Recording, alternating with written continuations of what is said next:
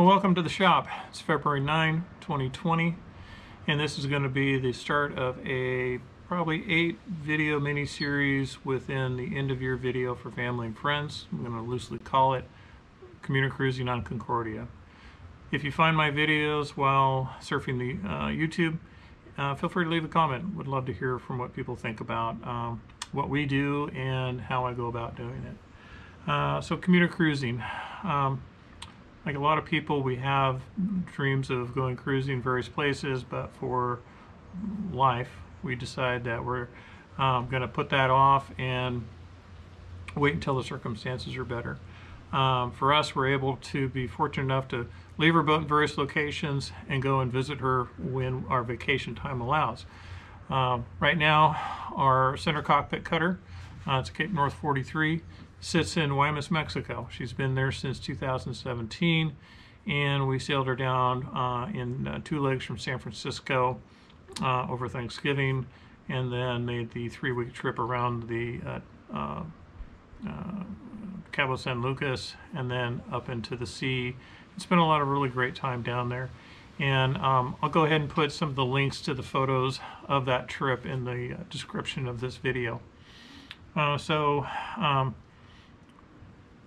what the series is going to include, I think, uh, we'll have three to four shop videos of the various projects that are uh, in various stages of completion.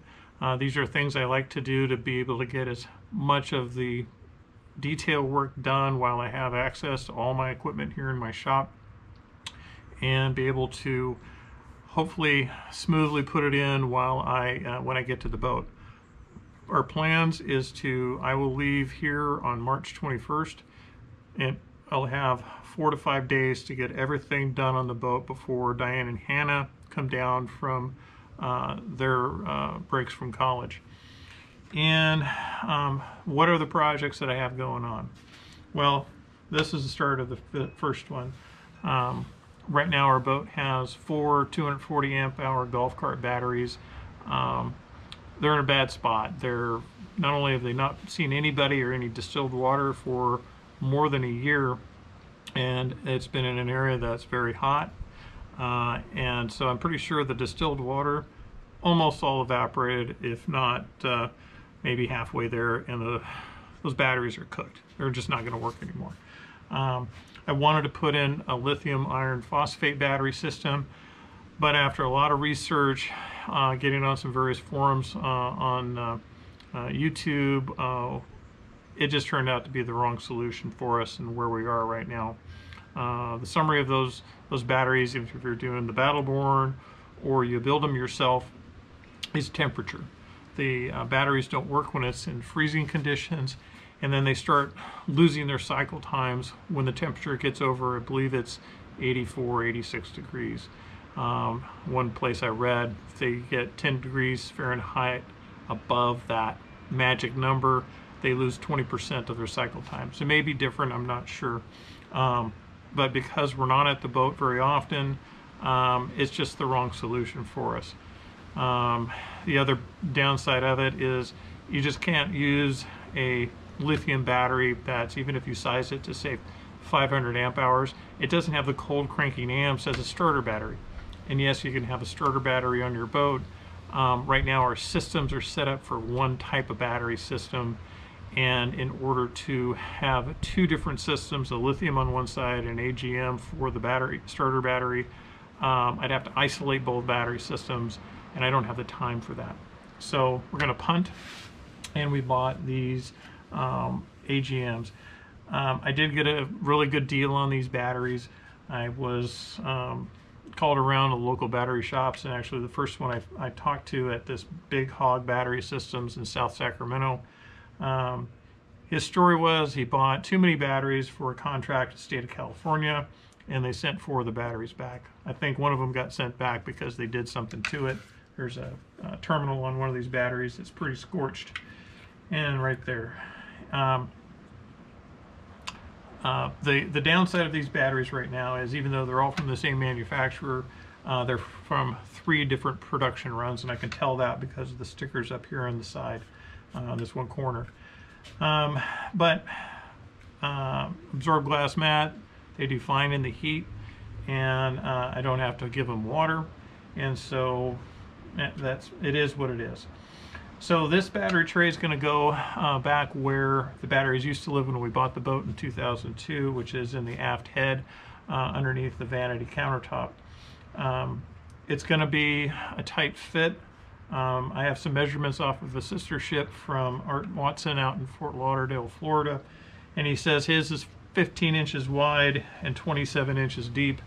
Um, I'm going to assume it's the same. Even if it's not, I think I can still adjust this. Uh, what I made this tray out of is um, marine grade starboard. It's a solid surface material, some, similar to corian.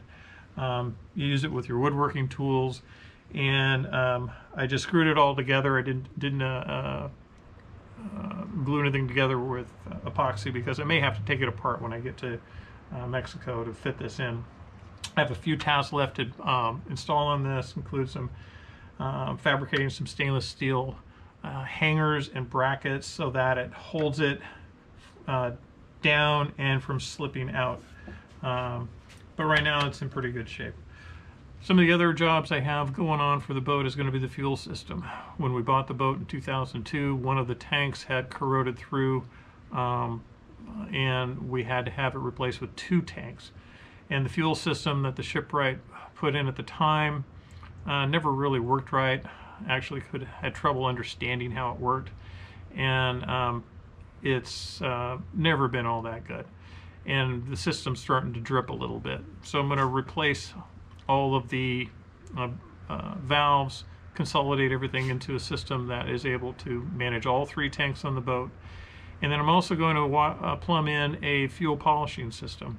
I think it's going to be important for us to have one of those on Concordia where we'll be keeping her. Um, I do keep the tanks full when we leave, but you still have stuff that grows inside diesel, settles to the bottom, and it can uh, clog your fuel filters, which happens to us from you know once in a while when we get out in some really lumpy seas. It stirs up all the sediment in the tanks, and it gets sucked into the uh, um, uh, into the fuel filters, and then you, got to start replacing filters and get going again.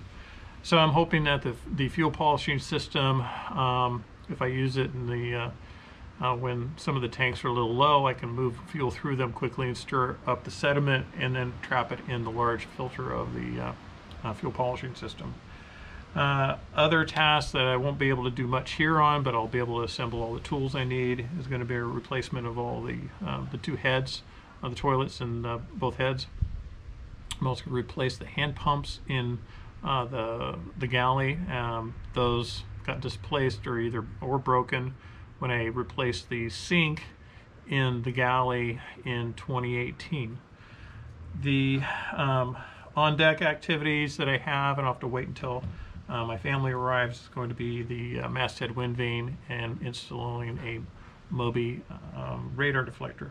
Those would be pretty easy and uh, hopefully we'll be able to um, push off and get ready to go pretty quickly once they arrive. Um, our plan is to sail the northern area of the Sea of Cortez. I've been wanting to um, sail that area since we went down there in 1998 with some friends who uh, live in Hawaii now, uh, Todd and Lara Hackney. Uh, we did the Enchanted Islands and had intended to go out to Isla de la Guarda off of uh, the little town of Bahia de Los Angeles, but uh, timing didn't work out then either. And so our goal is to uh, go across the Sea of Cortez and explore some of the coves on that side, get up to, into Isla de la Guarda, and then on into Puerto Penasco. We're not going to have a lot of time maybe seven days before we have to haul out the boat at uh, the Cabrales yard. Uh, but that's what you do in your commuter cruising. So with that, I'll sign off and uh, look forward to the next one.